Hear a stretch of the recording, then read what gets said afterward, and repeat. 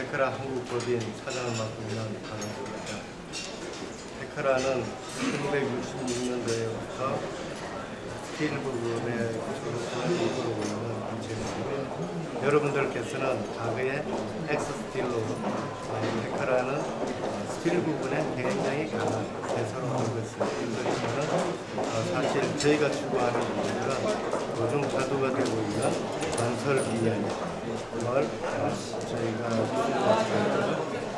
많은 현장에서 건설 기 디지털 정보를 어떻게 활용하는지에 대해서 저희가 어, 솔루션을 지원하고 있습니다. 예, 3D 쪽에 특히 앞으로 기술이 특화되셨다고 하는데요.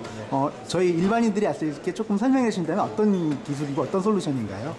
네, 어, 지금 어, 3D 어, 디지털 정보에 대해서 관심이 굉장히 높습니다.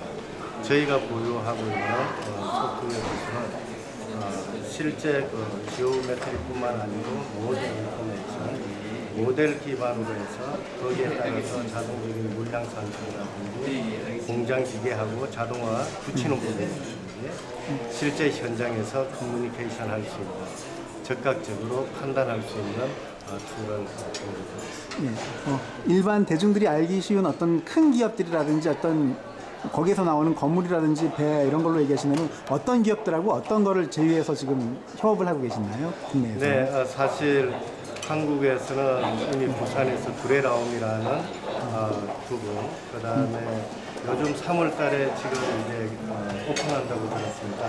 동대문 디지털 프라자, 지금 현재 지어지고 있는 롯데 123층 등 수많은 어, 부분들의 어, 프로젝트에 어, 저희 툴이 사용되고 있습니다.